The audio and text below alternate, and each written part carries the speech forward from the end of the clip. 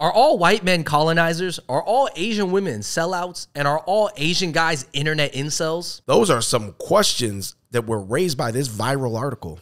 All right, everybody, if you're excited, please hit that like button and let's get into this. Welcome everybody to the Hot Pot Boys. David and Andrew here. We're talking about this viral article that is about white men and Asian women. So real quick, the author Elaine Chou is an Asian woman who mostly dates white men, but feels very, very conflicted about it because a portion of white men have a very condescending entitlement over Asian women, and it can turn to be very ugly. Yeah, this was really interesting article that came out last week, and I would say that if you are Asian American and you went to college, there's probably somebody in your circle of friends that has read this article. It went hyper viral in a world, not the world, but in the Asian world. I was actually fascinated by how many different lenses that people could view the same stimulus by. So we combed through a bunch of the comments to the article on Reddit, on Twitter, and these are the four main comments we saw, and we're gonna analyze them. They also represent four different viewpoints that we find very interesting. All right, number one came from a lot of white guys that were offended by Elaine Chou's article. One of the most common things was a little bit defensive attitude saying, whoa, whoa, whoa, that's not all us white guys. That ain't me and my friends. I'm married to a Chinese woman. I never thought none of this evil stuff ever before. So here's the truth on that comment. Of course, not all white guys are like evil. Are a portion is a one slice of the ratio distribution pie totally problematic and toxic and, you know, having that dominant colonizer mindset? I'm sure it is. But I do think one thing is interesting, Andrew, that a lot of people don't understand about pie distribution ratios. Because not everybody in society lives the most ultra holistic life, it depends on what slice you're exposed to. For example, if you only date frat boys that are part of like Sigma Zeta, mm-hmm. you might get exposed to more problematic type guys. If you date guys who are like soy drinking like soft boys, you might get exposed to guys who don't rank as high on the problematic meter. And that's your exposure as an individual.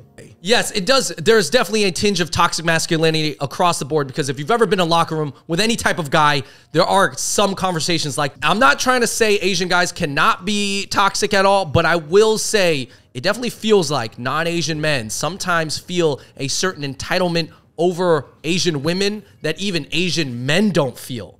And yeah. that's always been really weird to me. It's not all white guys, it's actually a lot of other types of men too.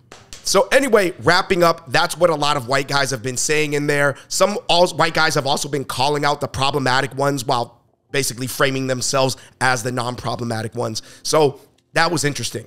Another very interesting comment that seemed to be coming from possibly other minority women that were non-Asian was hey, why are you surprised about this? I already assumed that white men said vile stuff about us, anyways. Wow. I would say that these were actually the most interesting comments that had the longest reply chains in both the comments section and in Reddit. What is this comment trying to say and what is it getting at? Is it getting at the potential privilege, and I'll put privilege in quotes, of certain Asian women or Asian people? That's I believe it was from a lot of black and Latina women obviously some black and Latina women do also date white guys. But the truth is, I think that black and Latina women on average date white men at a much lower rate than Asian women do. I think that she was pointing out that what privilege you have, Miss Elaine Chou, to ever believe until you were 25 years old that white men would say anything but vile, dominating things about having sex with you. Dude, this is pointing to some very much deeper dynamics that would take much longer to break down. Yeah, we don't have time to get all into it in this video. Regardless, it's that a lot of people feel like certain groups of Asian women, maybe particularly East Asian women who are educated, um, who are maybe of Christian background or very, very westernized, that they tend to lean into whiteness to the point where they forget that they're a minority and they forget that white dudes when it, when they're in the locker room, the white dudes will talk about you like well, you're just crazy. Well, like you're just a very different species, yeah. and probably a species that, and by the way, we like we said earlier, not all, probably a species that ranks lower than them on the power scale. Yeah, there's also an assumption, trust me, that the white guys feel like that Asian women really, really like them. Like all Asian women. That's that's what a lot of white guys think. Yeah. So I think that basically these were fascinating comments, probably written by black women, from what I could tell, basically accusing Asian women of saying, hey, listen, I'm not saying your pain isn't real, but I'm shocked that you're shocked. And there was a tinge of sassiness, like, I guess that's what you get for thinking you were white. Yeah. Kind of like, well, welcome to the club. Welcome to the Minority Women Club. Another comment, which I believe was probably left by a lot of Asian guys who've had this conversation before, uh, because obviously the white man Asian woman pairing is very, very popular amongst the world, to be honest. It basically said, Hey, I know that the author is acknowledging all these horrific things that she's heard, but she does not tell Asian women to stop dating white men. So why are they still doing it? Yeah, there were some comments from some like Asian internet guys, and forgive me for the voice, but they're probably like, hey, I believe you because I saw my sister and some of my cousins go through the same thing. But um, how come at the art at the end of the article it just seems like you basically say I just need to find better white guys and just be more, you know, have a better filtration system, but you don't stop loving them. It sounds like you still love them a lot. Yeah, I mean, I think as Asian guys uh, who are kind of outside of this dynamic, who feel like their impact is very minimal, if anything at all, um, it's kind of like Asian guys are sitting here. No, no. What do you mean impact is very minimal? Because we feel heavily impacted by this pairing. No, no, they feel Asian men feel impacted, but as an Asian guy, you feel impacted by this pairing as far as like the dating pool and the dynamics of race and sex and everything, but you don't feel like you can have an impact. No. Like you cannot do anything about it because Asian men, uh, I do think uh, I've heard that some Asian men do give like the side eye to like Asian women who date white guys, but there's not like a lot of like public shaming per se. And well, like, Asians are pretty quiet. Yeah, you know, we're pretty like people, we just yeah. kind of we just kind of deal with it and then blast it out on the internet. You know. Uh, Yeah, yeah. Asian guys, I think they might even like see it in public and just not like look the other way and then just go home and be like. First of all, let me say this. I think that all Asian guys acknowledge this dynamic. You'd be hard pressed to find more than like 10% of Asian guys who say, ah, I don't care at all. But obviously, when you feel like you can't impact something, it's not beneficial to care.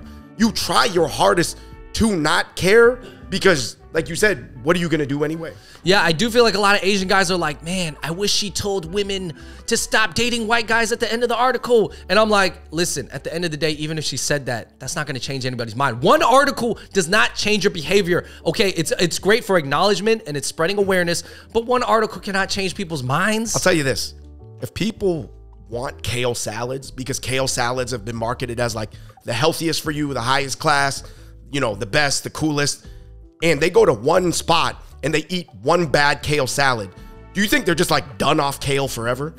Or are they just like gonna be more discriminating to go to like the best elite, you know, black sea salt kale salads from like the better ranked restaurants, right? Because they want the kale. If you guys get what I mean. I, a lot of people still eat kale salads.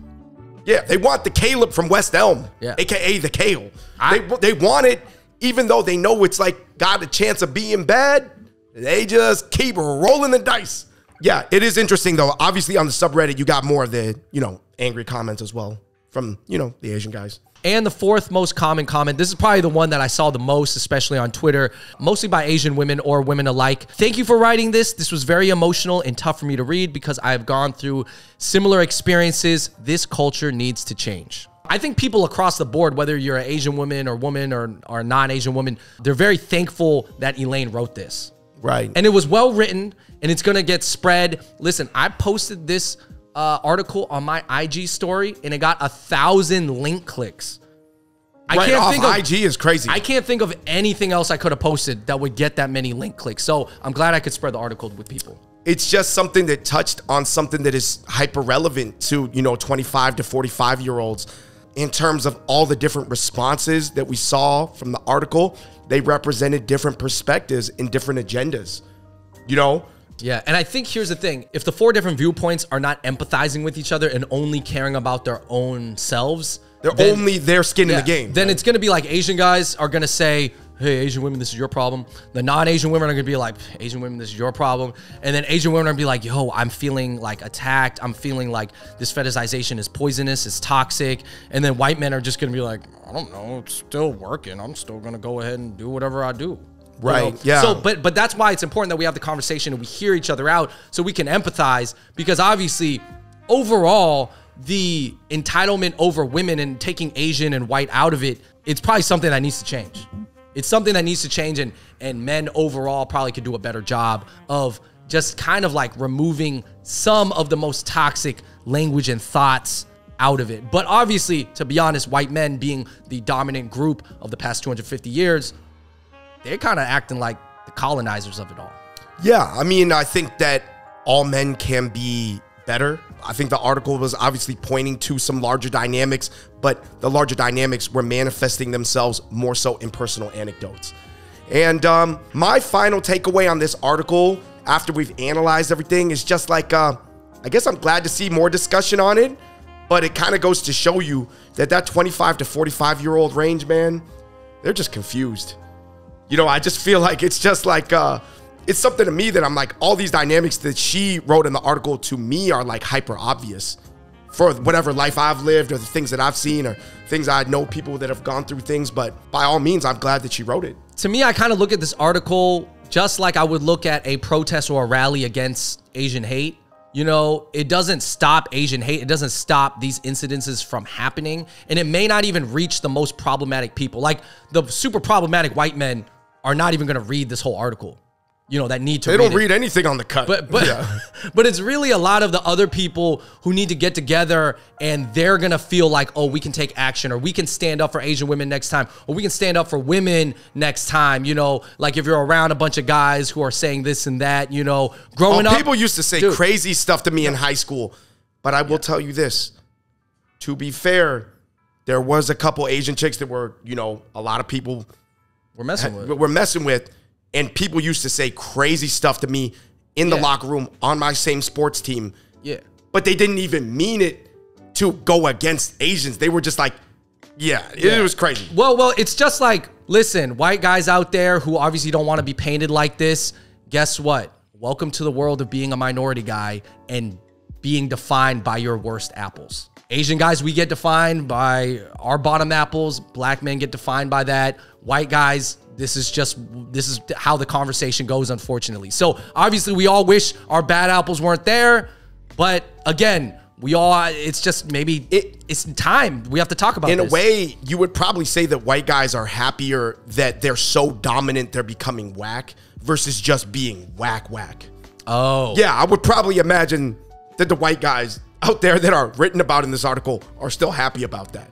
Just an No, idea. Don't we don't know. Leave it in the comments down below, guys. This is a interesting conversation that needs to happen more because the problem is not going to be solved tomorrow. But it is very unfortunate. I hope that Elaine Chou finds the peace that she wants moving forward, or at least is on that journey, and that that peace begins, you know, spinning the wheels as well. All right, everybody, that's going to wrap it up here. Thank you so much for watching the Hot Pot Boys. Please leave it in the comments down below what you thought of this article or what you think about this dynamic. I would really encourage you to read the article if you can, or at least read some reviews about it. Thank you so much for watching. And until next time, we out. Peace.